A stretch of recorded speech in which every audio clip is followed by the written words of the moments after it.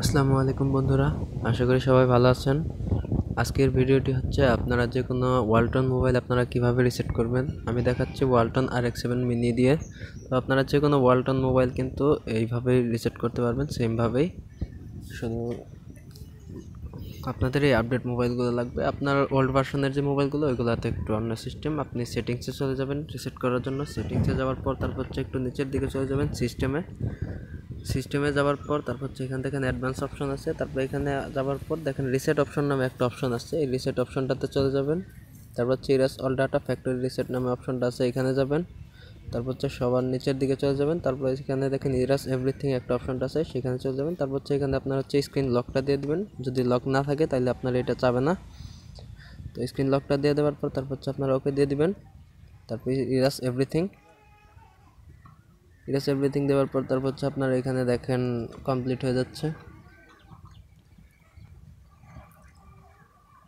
এখানে আপনার on of হবে, তারপর হচ্ছে এখানে আপনার কিছু রিসেটিং হবে আর কি, সব ডাটাগুলো আপনার ডিলিট হবে। আপনার এখানে দশ মিনিটের মতো সময় লাগতে পারে, আট থেকে দশ মিনিট।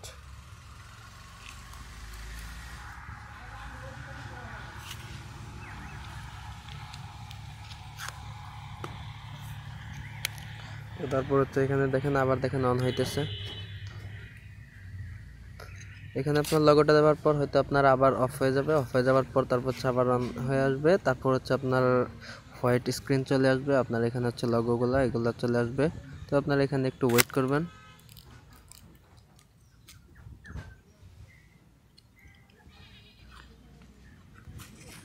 তো আপনার হচ্ছে এখানে চলে আসবে। তারপর হচ্ছে আপনারা স্টার্টে ক্লিক করে দিবেন।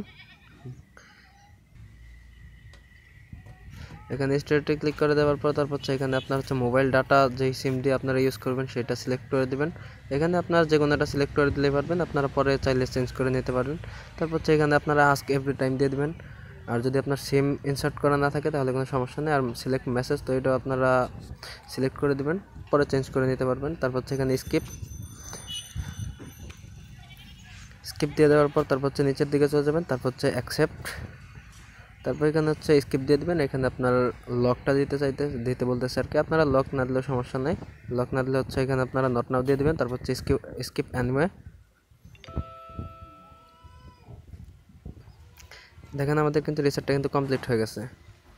তো আজকের ভিডিওটি এই পর্যন্তই ছিল। সবাই ভালো থাকবেন, সুস্থ থাকবেন। আর যারা আমাদের চ্যানেলটিকে এখনও সাবস্ক্রাইব করেননি, অবশ্যই আমাদের চ্যানেলটিকে সাবস্ক্রাইব করে দেবেন। আর যারা ফেসবুক পেজ থেকে দেখছেন, অবশ্যই আমাদের ফেসবুক